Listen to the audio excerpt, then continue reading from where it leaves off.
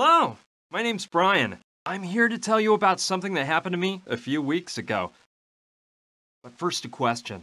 Isn't it truly amazing that your life can be turned upside down in just one tenth of a second? It can. And soon, you'll find out why. Let's not bore you with a lot of details about my life. I'll cut to the chase. I was born in New York 23 years ago, and growing up, I was always somewhat of a child prodigy. I studied at Columbia and finished my physics degree with honors last year. During the summer, I arranged interviews with several universities, hoping I'd get into a decent PhD program. And in the end, I was chosen by the best. Professor Silva at Berkeley offered me the chance to do my doctoral studies at the applied physics department he runs there. It was a dream come true. I packed my bags and got ready to move to California. I was ready to drive from coast to coast without stopping. I had no idea of the events that would take place within just a few days. About the mess I was going to get in. Strange people about to cross my path. The hundreds of dangers lurking behind every corner. Yes, it was quite an adventure. Go back to the beginning. As I told you, my old car and I were ready to go to California. I decided to take off at night and get a few miles behind me before dawn. I said goodbye to my parents, my sister, and my dog, and I got behind the wheel. That's when I remembered I forgot to pick up a book I'd ordered at a bookshop downtown in Manhattan. Luckily, it was one of those bookstores that stays open 24 7, so I decided to grab the book on the way. I could have asked them to mail it to me once I got to California, but uh, no, I decided to go into Manhattan and get it myself. That one detour changed my life forever.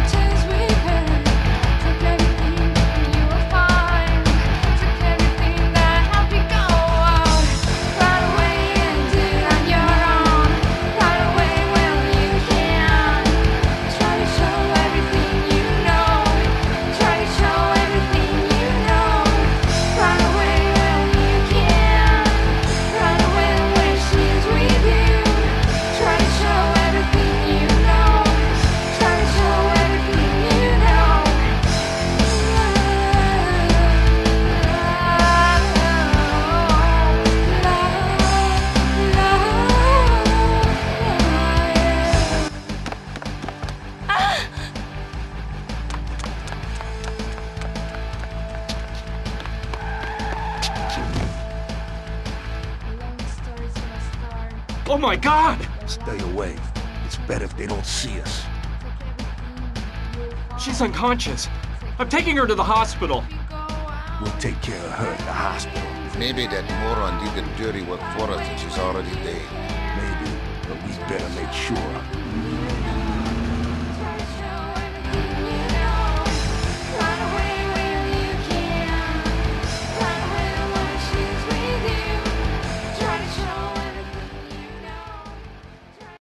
Did. I'm telling you. On the way to the bookshop, I hit that girl with my car. I was scared stiff. She suddenly ran out in front of me. There was no way I could stop. Luckily for both of us, she wasn't that badly hurt. They did a bunch of tests on her at the hospital and said she had no major injuries. She was just in shock. So they decided to keep her under observation for 24 hours. A nurse took her to a room and gave her some strong medicine that put her to sleep. By the way, I, I don't know if I mentioned it. The girl's name was Gina, and she was amazingly beautiful. The truth is, I had no reason to stick around, so I went to say goodbye to her and go on my way. Please, don't leave.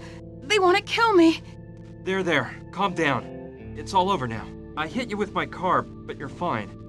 You're in a hospital recovering from. No, I'm telling you, they want me dead. I've got to get out of here. Who were they? Please, calm down and tell me why you think they want to murder you. Something awful happened tonight, and I witnessed the whole thing. Look, I'm a singer. I work at the Pink Iguana, a trendy place with live shows. This evening, when I finished my act, my dad was waiting for me. He works for a secret government agency. He told me he needed to tell me something. He said it was an emergency. Come a little closer. Gina, kiddo, I'm in danger. I've gotten into a really big mess, and I'm afraid you're not safe either. What's the matter, Daddy? Oh, you're frightening me. There's no time to explain. They're right behind me. I need you to keep this crucifix, and no matter what happens, don't let them find out you have it. You can't trust anybody, not even the police. But, Daddy, please, tell me what's going on. They're here. Quick, grab the crucifix, and don't let them see you with me. It was awful. Some guys pulled my dad away and took him into the storeroom. I scrambled away just in time and got the crucifix without them seeing me. I followed them to the storeroom. They tied my dad to a chair and violently started interrogating him. These two henchmen wouldn't stop hitting him, and my heart froze when I saw who was giving the orders. The Sandretti brothers. The famous mafia bosses? How'd your dad get mixed up with those guys? I don't know, but they. Get him to tell you what he knows. Beat the truth out of him, if you must. Speak. Where is it? I won't say a word. Damn you! You're gonna speak now. Speak or die. You choose. Go to hell!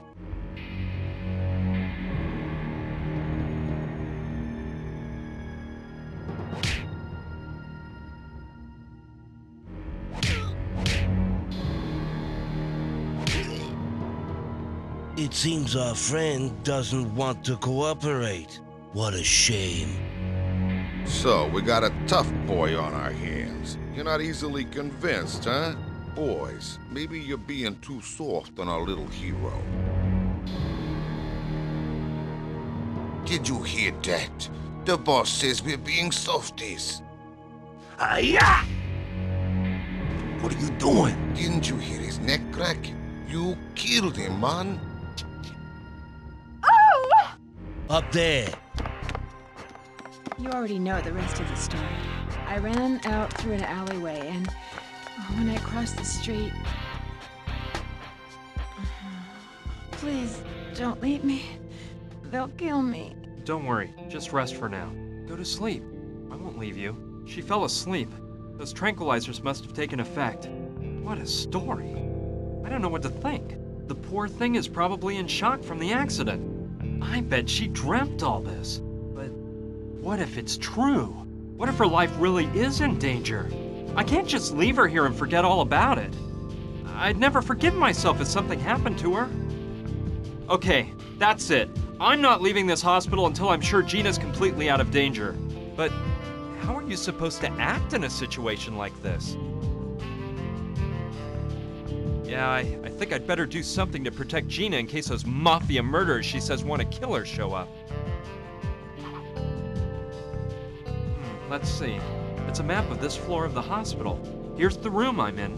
Here's the hall, and if I'm not mistaken, across the hall and just to the left of this room, there's a storeroom. That could be interesting.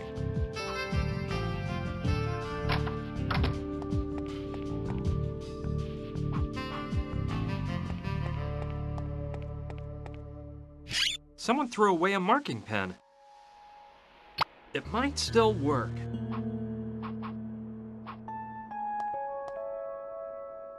I may be needing this.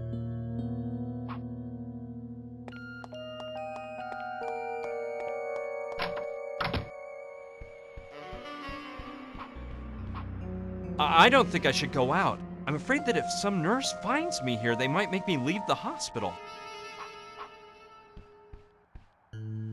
Contains a description of her injuries and the name of her doctor.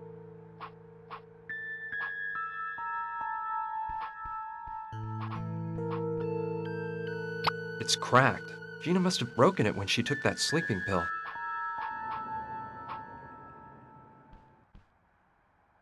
Snoozitol, one of the finest brands on the market.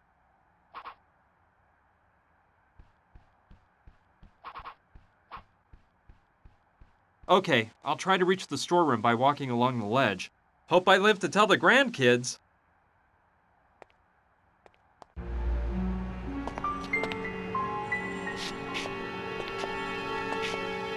Yikes! I better not look down.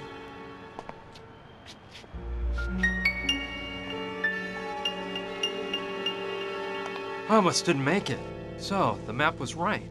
This is the storeroom. Let's see what I can find in this dump. Looky here, a Vademecum. This could be useful. It's blank.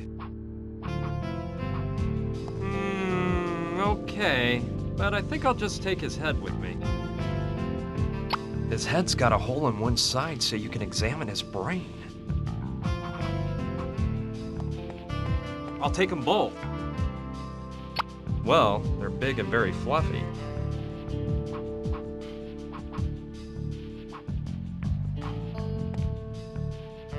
I may be needing this. I'll grab one. It's empty.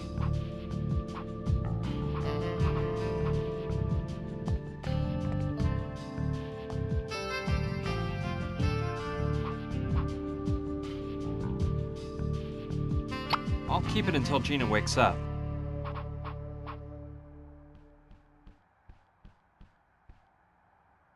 This could be useful. I found this at an archaeological dig. There's a fossilized mosquito inside. Let's see.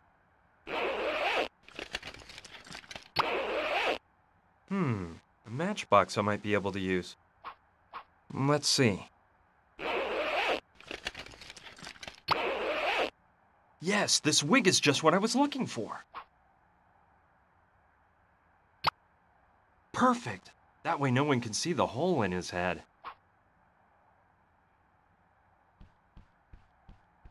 Okay, if I use the pillows to look like the body, the head with the wig and a sheet to cover it all up a bit, I can make it look like a woman is sleeping here.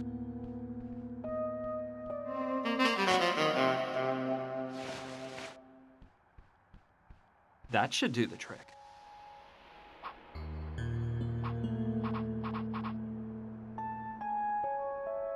Great. This marker's as dry as a bone. It won't work.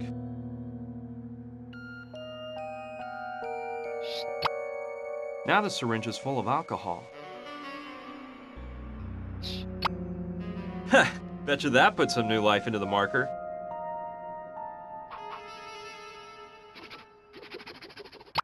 Good. You can't tell the difference between this and a real chart.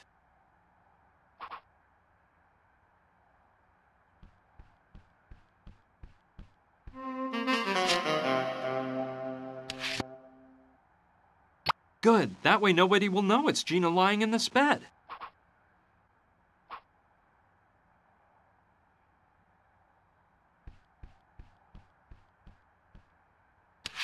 Perfect. That way they'll think it's Gina who's in the bed.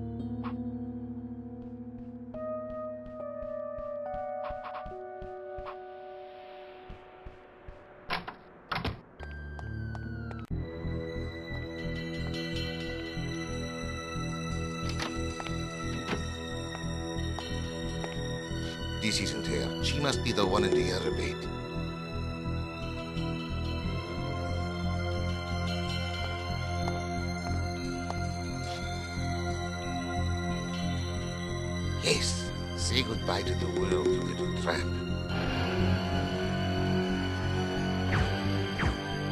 Hey!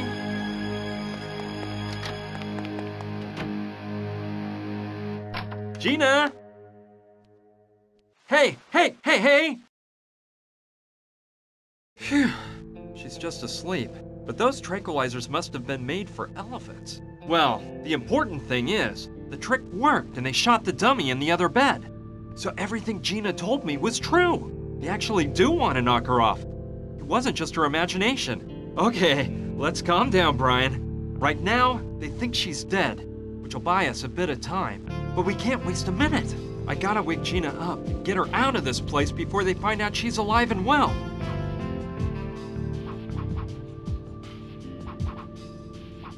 I'll to figure out what it says about snoozitol, the sleep medication that Gina took. It says the effects are powerful and almost immediate. The patient sleeps for hours and can only be awakened by a nice cold shower. Hmm, I don't think I'm strong enough to lug Gina into the shower, so I'll have to come up with another way of pouring cold water on her.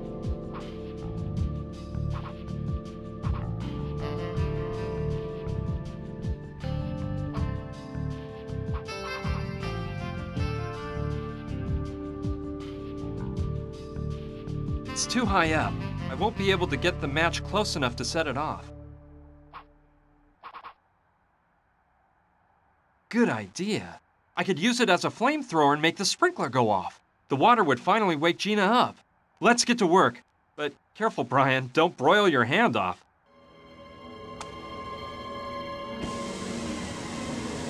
Ouch! I burst like crazy. Ow! Ah! Now you wake up! Hurry, we've got to exit. Stage left at once! But what's going on? This water, the smoke, fire! I'll tell you later. Let me grab your stuff. You can change in the car. Come on, let's get to the parking lot.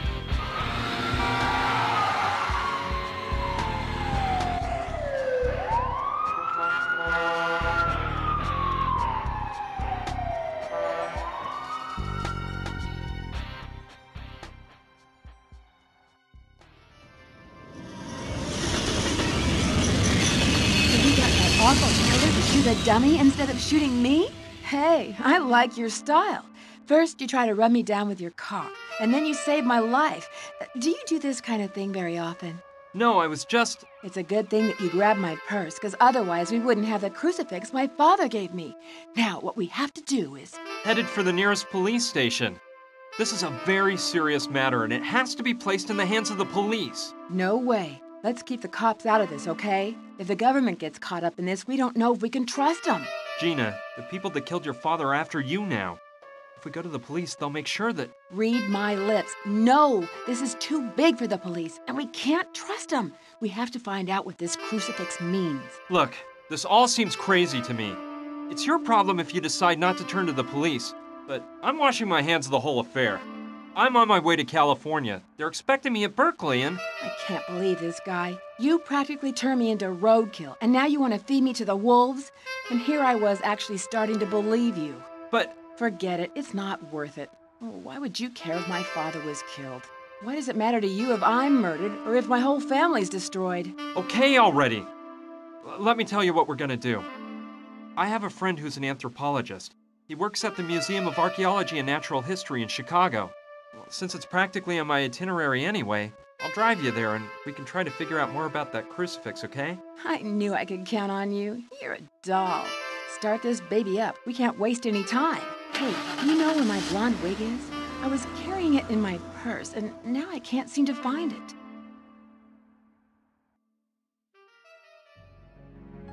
Have you confirmed that? Yes, Don Roberto. Gustav is at the hospital right now. He's checked up on it. I can't see how that girl escaped. Looks like the guy who ran over her is along for the ride. They left the hospital together. Useless idiots. Have you identified this man's car? Yes, Don Roberto. We know the model, color, and license plate number. At least you've done something, Feodor. Meet with Gustav and be prepared. As soon as we locate the vehicle, you're gonna go after them. Whatever you say, Don Roberto, I assure you, we won't let them ditch us again. I hope not. Don't worry, Roberto. Those two couldn't have gotten very far. Carlo, you know I'm thinking something here. I'm almost glad that girl's still alive. What do you mean? That girl witnessed what happened, and if she talks, we're in big trouble. I know that, but it's obvious she hasn't gone to the police. I wonder why. Hmm, I don't know. Maybe she's there right now. I'll bet you one dollar she won't stew on us. You know why? Cause she knows something. I think our men spoke with her before that animal Gustav broke his neck. Besides, why else would she have been in the storeroom? Yeah, you may be right, brother. In which case, we gotta make her spill the beans. See what she knows. You're right, Carlo. We'll do that. Now we gotta get out the warning to all our boys out there. Make sure everyone's on the lookout for that car.